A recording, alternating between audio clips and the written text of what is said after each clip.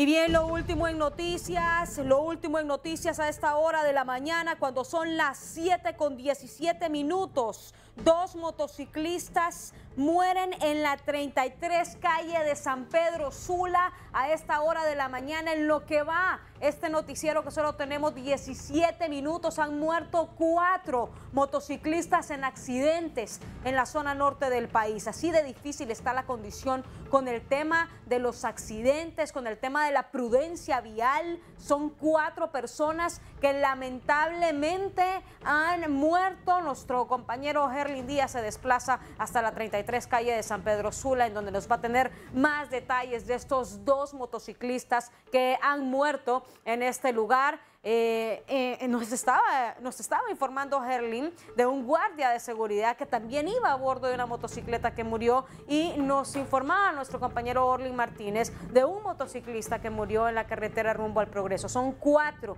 víctimas mortales por accidentes que iban conduciéndose en motocicleta. Mire, licenciado, qué lamentable noticia.